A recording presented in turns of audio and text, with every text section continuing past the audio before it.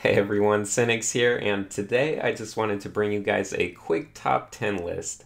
And I'm sorry if my voice is a little off, I have a bit of a cold. Anyway, these are going to be the top 10 artists that influenced me the most. So it's not the top 10 artists of all time or the top 10 artists that I currently love, but instead it's the top 10 artists that have had the biggest impact on my art since I started doing it. Hopefully you'll enjoy it and find some inspiration along the way. And speaking of inspiration, a lot of these artists have been featured in my monthly inspiration series, but that series probably won't be appearing on my YouTube channel anymore. It was just too much work and never really caught on that well. I know a lot of you love it, so hopefully it will live on either through Twitter or Facebook or something else. Alright, so let's get to it. Number 10 is Marko Djurdjevic. I was really obsessed with his aggressive and dynamically detailed figures through most of my early years on conceptart.org. He was also extremely valuable to me as a wonderful example of being a self-trained, self-taught artist.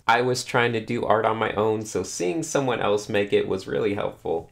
Number nine is going to be Arne, or Prometheus, or Nicholas Jansen, whatever name he wants to go by these days. Arne definitely seemed like one of the most analytical artists that I was following early on. Every time he shared an insight in art, it was always well thought out and interesting. I tried to absorb as much as I could from him because he always had such impeccable hues and lighting in all of his work. No matter how cartoony or realistic the content was, the color choices were always perfect.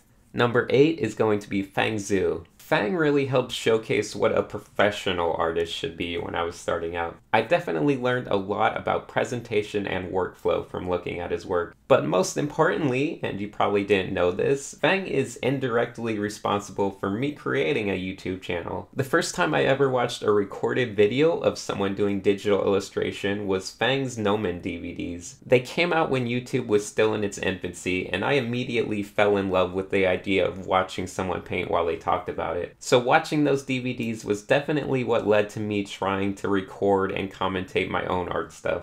Alright, number 7 is going to be a more recent influence, and it's Sergey Kolesov. You've heard me mention him a ton, but Sergey is an amazing artist, and his main influence on me is that his work really helped remind me that art is all about storytelling, because every painting he does is dripping with narrative, and I think I'd gotten pretty lazy when it came to stuff like that, so it was a nice kick in the butt to remind me that art should always be telling a story. Plus, I love his workflow and his videos are amazing, so go look them up if you've never seen them. I think they're on Vimeo, but I'll make sure to post a link in the description below. Number 6 is another somewhat recent influence, and that's James Gurney. James Gurney is one of my favorite people to watch on YouTube, and his love for art and all things creative is just infectious. I hope someday I can become even half as wonderful an ambassador for art as he is. His color and lighting book is one of the best art books out there, and he's really helped shape my love for plein air painting as well. Alright, we're halfway through, and the next five have just been crazily influential on me.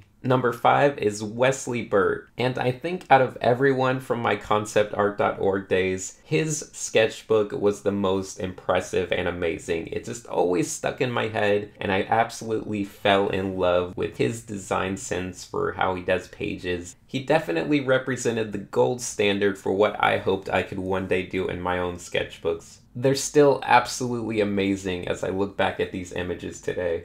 But that's not even all of it, because as a bonus influence, Wesley Burt actually had a huge influence on the type of music I was listening to. I would always be checking out any music he mentioned at any time because he always seemed to have the coolest music taste of anyone I knew. So thank you, Wes, for exposing my younger self to all types of amazing music. Number four is going to be Sparth, and Sparth is simply amazing. He's one of the best early digital painters I was ever aware of. He was just light years beyond everyone else during the early days of digital painting, at least in my mind. I'm sure other people have different opinions. But I completely loved everything he was doing and everything he is still doing. He's always pushing the limit of digital painting style. I think I've mentioned it before, but Sparth is the main influence that got me into digital painting. And I'm not talking about digital digitally coloring line work. I'm talking about straight digital painting without any lines or anything. He's also a huge factor in my undying love for sci fi art. His design choices are always so good.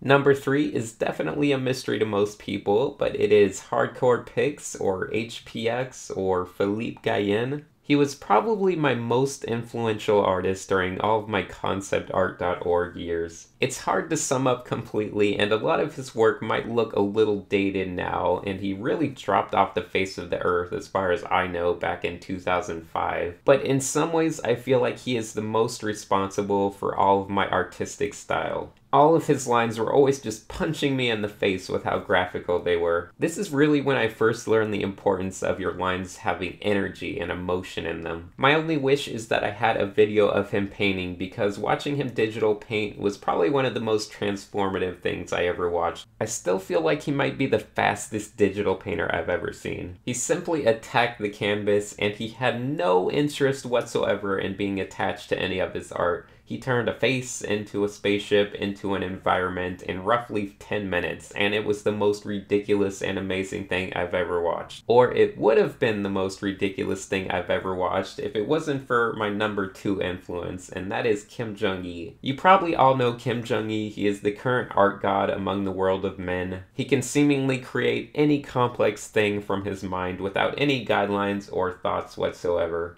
At the current moment, I would probably say that Kim Jung Gi is my biggest influence, mainly just because he represents the embodiment of a goal I hope to reach and surpass one day. I don't even know what to say about his work anymore, it's just ridiculous and dumb. If I ever feel like I'm not working hard enough, I always just grab his book and it gives me a burst of energy.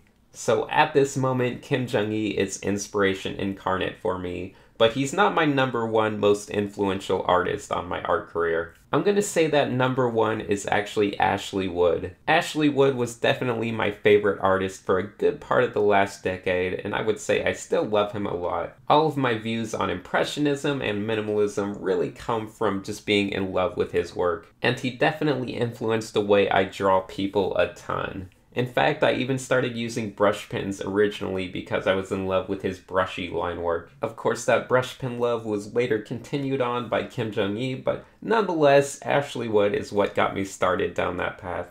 Alright, so I guess that's about all I have to say. I definitely had fun looking back at myself through the years and trying to figure out who influenced me the most. And I hope you guys enjoyed hearing about it. So thank you for watching, and a big thank you to my patrons and that'll do it.